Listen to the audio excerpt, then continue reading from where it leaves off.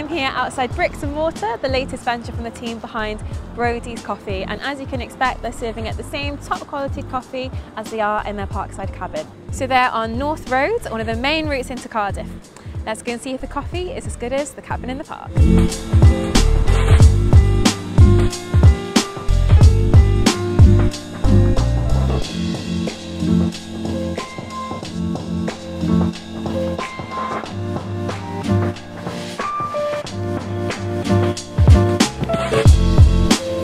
Just like back at the cabin, um, the team here are using coffee, which is roasted in Pembrokeshire.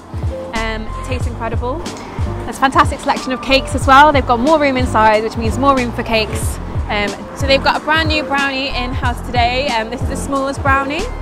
Uh, and we've also got the peanut butter and jelly jammy dodger. Just look at that.